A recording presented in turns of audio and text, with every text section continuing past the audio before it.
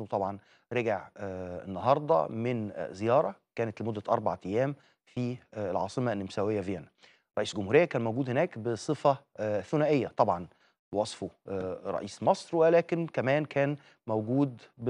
آآ آآ جزء أو آآ حضوره كان مهم ضمن منتدى أوروبي إفريقي. مصر دلوقتي نشاطها الدولي في كل حتة في العالم هيبقى مرتبط بإنه مصر هتتسلم آآ كتلة مهمة أو مؤسسة مهمة على المستوى الدولي، لأنها آآ بتعبّر عن أفريقيا بالكامل اللي هي الاتحاد الإفريقي، اللي مصر بتتولى مسؤولية آآ إدارتها وقيادتها ابتداءً من أعتقد يعني من نُص يناير إن شاء الله 2019. في مشهد ارتبط بكل زيارات رئيس الجمهورية برّه، وهو المشهد طبعًا السياسة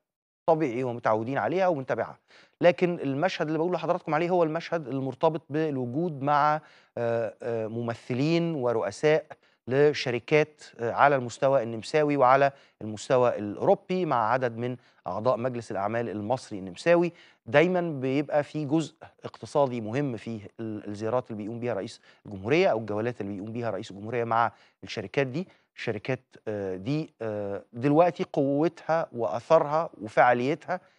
يعني إن ما عدّاش السياسة يبقى مساوي لل للعمل السياسي. وكان بيتم عرض من خلال الجانب المصري، من خلال مشاركة رئيس الجمهورية بشكل مباشر في عرض البرنامج الاقتصادي المصري، الخطوات اللي تمت، كان في عدد من التقارير اللي ظهرت عن المؤشرات الخاصة بالاقتصاد المصري، وبالتالي ده لمّا بيتم الترويج له أو الحديث عنه بشكل مباشر في حضور الرئيس، في حضور رئيس الجمهورية، بيبقى له أثر مختلف تمامًا.